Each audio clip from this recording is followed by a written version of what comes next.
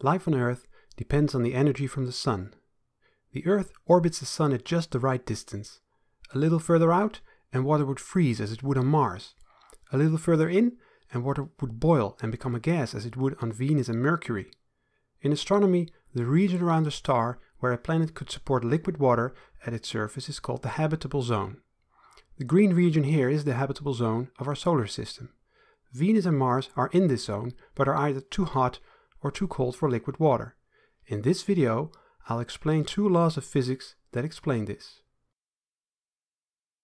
Viewed from the Earth, the Sun is so bright you cannot look at it for a very long time without using a special filter.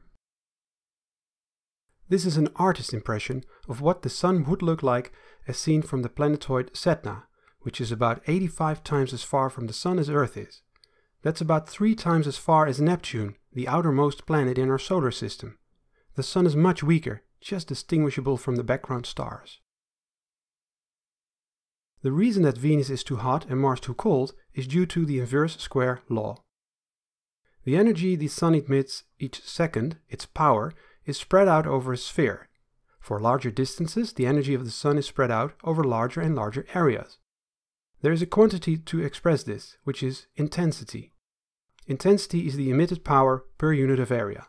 Twice as far from the Sun, the energy has spread out over an area four times as large. So the intensity has become four times as small. In a formula that's I, intensity, equals power divided by the surface of the sphere, 4 pi r squared.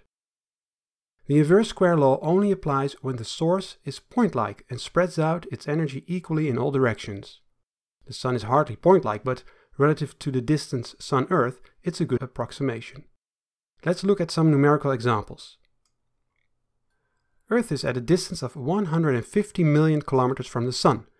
That distance is called an astronomical unit, or AU.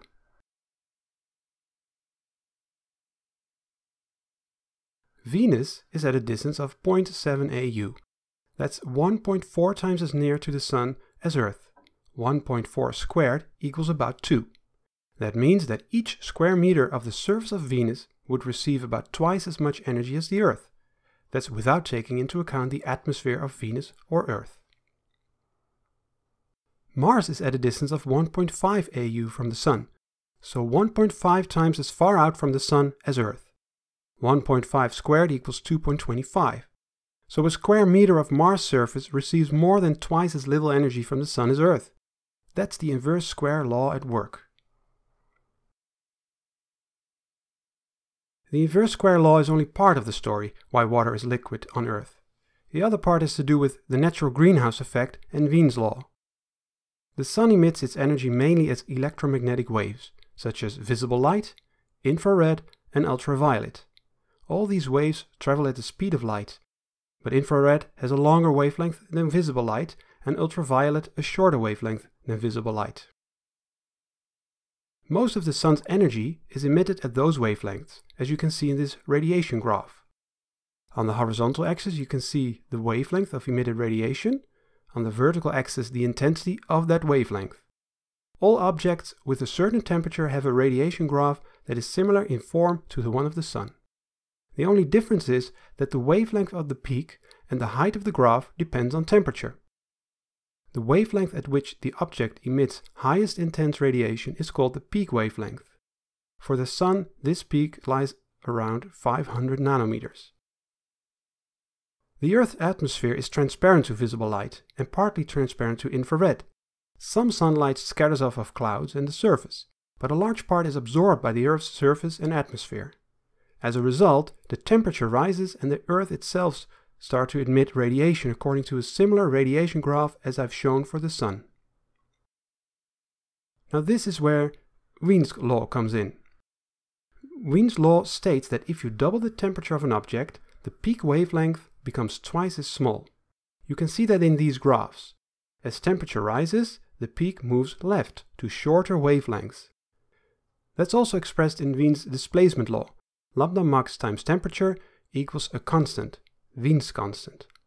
Now the temperature of the Earth is much lower than the Sun, so the wavelength at which the Earth emits most intense radiation is much longer, in the infrared. That radiation is mostly absorbed by the gases in Earth's atmosphere, such as water vapor, methane, and, you might have guessed, carbon dioxide. So the term greenhouse effect is really not very appropriate. A greenhouse is mostly transparent to infrared radiation. It's the shielding effect from the wind that causes a greenhouse to be so hot.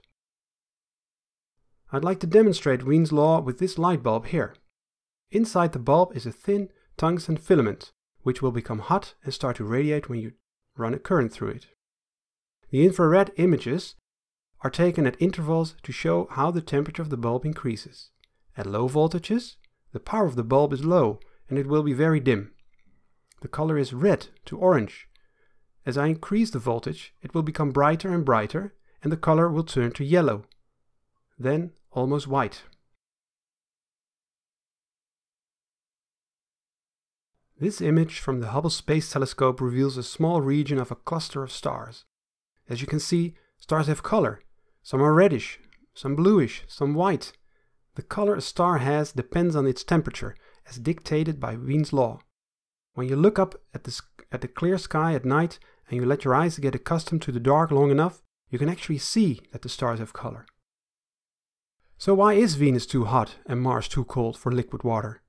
Due to the inverse square law, Venus receives too much and Mars too little energy from the Sun.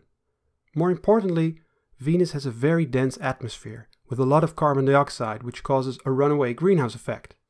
And Mars lacks a very thick atmosphere. Its atmosphere is about 60 times less dense as Earth's atmosphere. So let's take care of our own home planet before we consider moving to Mars.